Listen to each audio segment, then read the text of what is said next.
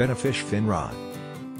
Ordinarily, betta fin rot and tail rot is a gram-negative bacterial infection or fungal infection that is extremely prevalent in betta fish. Specifically, it is more common in uncycled tanks and small bowls. Similarly, fin rot attacks and begins to eat away at a betta fish's beautiful fins. Is betta fin rot fungal or bacterial? Bacterial fin rot. Ordinarily, believe it or not, fin rot can be fungal and bacterial. Meanwhile, once you know what to look for you'll better be able to gauge which type of fin rot your betta is suffering from. Generally, when your betta is suffering from bacterial fin rot, it won't be even. Instead, it will appear rather uneven and cause the rotting to look more ragged. Similarly, the bacteria that cause this type of fin rot often cause damage when your betta's immune system becomes weakened. Meanwhile, it may have been in the water the whole time. Fungal fin rot. Specifically, if your betta is suffering from fungal fin rot then the rot will appear more even across the fins. Hence, you may notice a white edge on your betta's fins. However, don't confuse this with white spots which could possibly signify ick. Is betta fin rot caused by stress? Ordinarily, as you've probably guessed by now stress can also cause fin rot.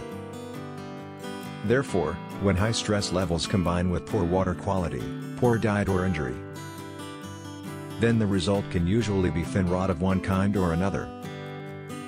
What are the symptoms of betta's fin rot?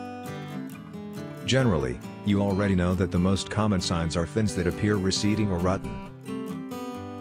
But what other signs are there? Symptoms of mild fin rot. Ordinarily, if you catch fin rot in this stage then the chances of your betta making a full recovery look extremely good. Therefore, common symptoms of mild fin rot are 1. The betta fins just being slightly darker in color. 2. The tips may actually be changing color to brown, gray, or white. 3. Also, the edges may just be beginning to appear tattered and worn. 4. Similarly, the tips may look irritated, red or sore. 5. And most importantly, the rot won't appear to be anywhere near your betta fish's body. Symptoms of major fin rot. Generally, major fin rot often has these symptoms. 1. The fins recede dangerously close to the betta's body. 2. Also, at times you may notice whole clumps of fin falling off at once, instead of a gradual change. 3. 1.5 centimeters of the betta fins may be dead. 4. Likewise, the discoloration of the fin at this point will be incredibly dark. Thereby, you will be able to clearly notice the fins are starting to die off. 5. Also, the fins may also begin to cover in white fuzz. 6. Meanwhile, oftentimes they'll have red spots on them. Symptoms of severe betta's fin rot.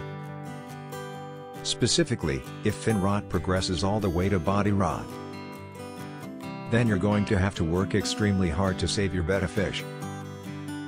However, symptoms of body rot are 1. The fins recede completely to the body. 2. Also, your betta fish body is beginning to rot away. 3. Likewise, where the beginning of the fins was, there may be white fuzz.